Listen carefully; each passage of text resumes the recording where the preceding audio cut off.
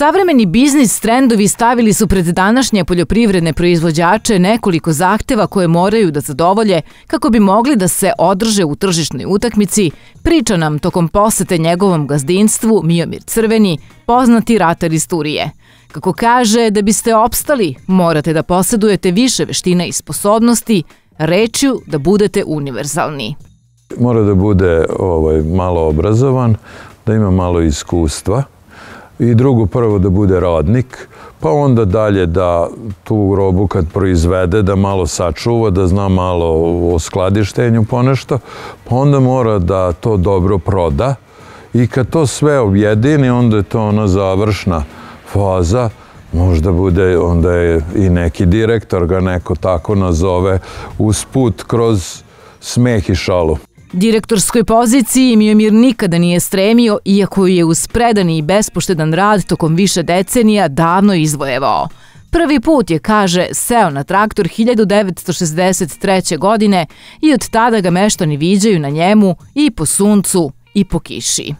Zemlja je oko nas, ovaj, svugde i sad mora da bude i prašine i blato i to je neki sastavni deo. Sad smo se mi malo profinili pa volimo da smo u klimatizovanom traktoru i ne može sad drugačije. E, traktori su malo kompjuterizovani pa i tu imamo ovaj, jedan velik napredak, ali svi smo se saživili traktor bez kabine. Mislio sam nekad kabina ne treba. Šta će kabina? Posle sam shvatio kad su počele neke kiše i tako, ili sam bio više uključen, da je kabina jako dobro. Pa nema veze što nema grejanje, nema veze što duva svugde na sve strane, što je traktor stari. Pa posle, pa dajde malo to i zašuškamo, dajde to malo dotegnemo, uradimo, zamenemo traktor koji ko može da ga zameni. Imali su svoju draži stari traktori, kaže Miomir, koji je osim po visokim prinosima ratarskih kultura u selu poznati kao vrstan majstor, mehaničar, kojem su se paori obraćali za popravku ozbiljnijih kvarova na mašinama. To znanje mu je uštedilo novca i na sobstvenom imanju. Seća se Miomir vremena kada je njegov otac gajio i kudelju, jer su postojale kudeljare kojima su je prodavali. Njihovim gašenjem orijentisali su se isključivo za pšenicu, kukuruz i soju. Soja im je najdominantnija kultura, posejana im je na 50% površina. Da joj ova godina nije bila naklonjena, pokazali su već prvi otkosi, razočarano dodaje naš sagovornik.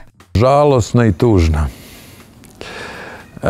Žalostna je za nju zato što je e, bila bez vode i dala je onoliko koliko je dala. Na ovom području možda od 800 kila, nažalost čujem da ima i manje, pa tu do 1500, 600, 700, što je vrlo redko i posebno možda neki e, manji region je, e, šta ja znam, neki oblak je naišao i tamo je pala neka kiša kad je baš gorelo i tu se soja malo spasla, verovatno i kukuru se spasa u tom regionu sigurno.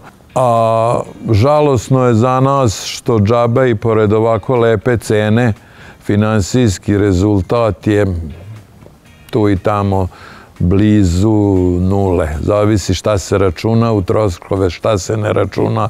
Računamo sebe, ne računamo sebe, a mi smo tu pa tu smo. Ne mora ni da se računamo. Ono što ostane, to je naše. Navikli su se, kaže Mijomir, tamošnji proizvođači na stalne oscilacije u proizvodnji, na činjenicu da su im inputi sve skuplji, a dobit sve manja. Njihovo je da u optimalnim rokovima završe žetvu i setvu za narednu godinu, a iskustvo ih je naučilo da se ne vredi nervirati zbog okolnosti na koje ne mogu da utiču. Korektna saradnja između proizvođača i otkupljivača je, kako ističe, veoma važna.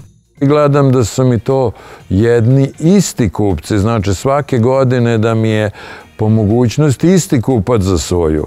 Znači, to je, imamo jednu saradnju. Tako je nešto i sa pšenicom. Tako je nešto i sa kukuruzom. Ova godina im je bila izuzetno povoljna za pšenicu. Kaže da je stvario do sada najbolji prinos od 9600 kg po hektaru te žitarice, a to mu je dalo veter u leđa i jelana za obaranjem drugih ličnih rekorda.